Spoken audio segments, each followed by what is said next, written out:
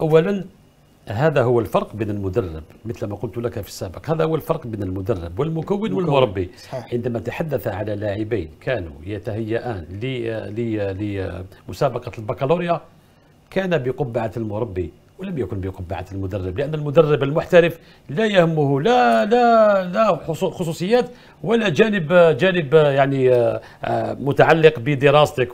لكن المدرب المكون والمربي يأخذ بعين الاعتبار هذه هذه النقاط لأنه يدرك جيدا بأنه أب وبأنه يجب أن يأخذ ذلك اللاعب كابنه. وهذا ما يفتقده الكثير من المحللين من اللاعبين القدامى الذين يظنون بأنهم يمتلكون الحقيقة. لنواجههم ونقول لهم أنتم لا تمتلكون الحقيقة في كرة القدم أنتم لعبتم في نوادي لم يعني لم تبارحوا أسوار النادي الذي لعبتموه الذي لعبتم لديه في الجزائر. وتتحدثون على كرة القدم وكانكم وكأنكم يعني من من من مخترعي الكرة. دعوكم دعوكم من من هذا الوهم.